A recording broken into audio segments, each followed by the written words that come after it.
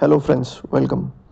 In today's video, I will try to give you an overview about the terms which sometimes confuse people like EEDI, EEXI, CII and SEEMP. So let's get started. As you are all aware, the shipping industry is undergoing a green revolution with the International Maritime Organization targeting a 50% reduction in the greenhouse gas emission by 2050 the industry has introduced four key elements guiding this transformation, which are EEDI, Energy Efficiency Design Index, EEXI, Energy Efficiency Existing Ship Index, CII, the Carbon Intensity Indicator, and the Ship Energy Efficiency Management Plan. But how do these pieces fit together? Let's try and understand that. Let's start at the beginning. The Energy Efficiency Design Index or EEDI was introduced in 2013.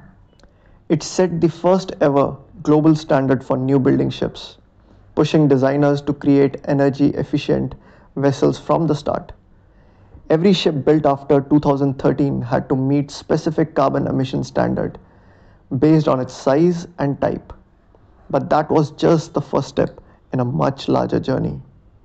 As the standard for the new ships was set, the question arose what about the ships which are built before 2013? That's where Energy Efficiency Existing Ship Index comes in. Introduced in 2023, EEXI applies to all existing ships of 400 gross tonnage and above, covering everything from bulk carrier to tanker and container ships. EEXI is essentially a design efficiency measure for older vessels sometimes requiring modification like engine power limitations to meet today's environmental standards. Now, as you understand the two index which are for ships built before 2013 and after 2013, the question that comes to mind is where does the SEEMP fit in? Well, Ship Energy Efficiency Management Plan has been around since 2013, but it takes on a bigger role alongside EEXI and CII. SEEMP is like a ship's strategy guide for maintaining and improving energy efficiency over time. Every ship needs to have an updated SEEMP on board, outlining how it plans to meet efficiency targets, including specific measures for monitoring, reporting, and improving performance. SEEMP is critical for managing compliance with both EEXI and CII.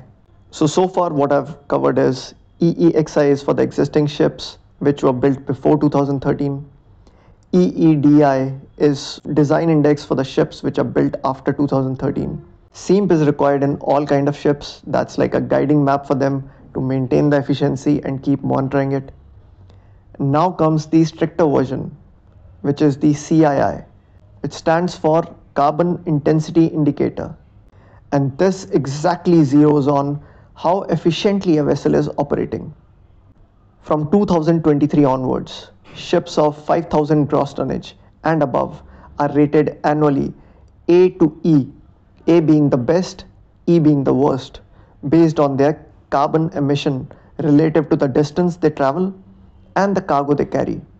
Maintaining a good rating is vital because poor performance can lead to penalties and operational restrictions.